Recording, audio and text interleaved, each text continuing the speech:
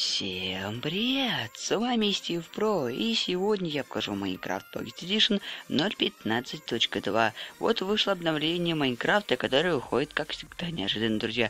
И здесь, по словам разработчикам, нас справили баги, которые особенно связаны в мультиплеере. Ну что ж, давайте подойдем в обычный мир и докажу, что новых предметов, к сожалению, нам не добавили.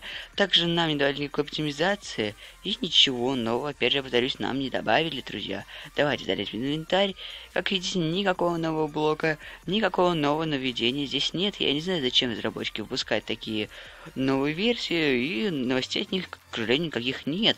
Также в опциях тоже ничего нового нет, и просто выпускают, друзья, и об этом ничего не сообщают. Ну, как говорят даже игроки, в мультиплеере стало меньше багов, но и в одиночной игре багов тоже стало меньше. К примеру, теперь, когда у вас появляется черный экран, игра не закрывается, и ничего такого не происходит. Но, по сказать мне больше нечего. Могу сказать только одно, скачивайте новую версию Майнкрафта в описании. И видео давайте мы в этом домике закончим. Ну что ж, на этом все. Ставьте лайки и подписывайтесь на канал.